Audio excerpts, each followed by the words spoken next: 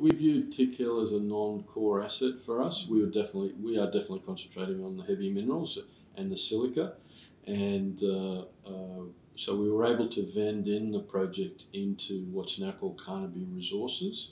We did that for a share swap in that company, um, and those shares uh, we got over four million shares. We're, we're a major shareholder now in Carnaby Resources and they're they're a gold focused company. They're purely focused on gold and, and copper, and uh, they're extraordinarily experienced uh, uh, exploration team and capital markets team, and we felt they could get better value from that asset than us, and indeed that's proved correct because the value of those shares that we were issued has doubled in price, uh, only in, within three or four months.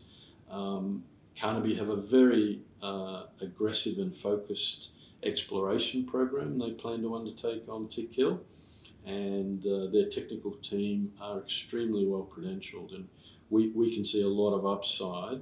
Uh, although we divested the asset, we're also riding the upside on their activity and in the gold space generally. So, as a major shareholder now in Carnaby, um, we, we, we uh, felt very comfortable in, in undertaking that transaction with them.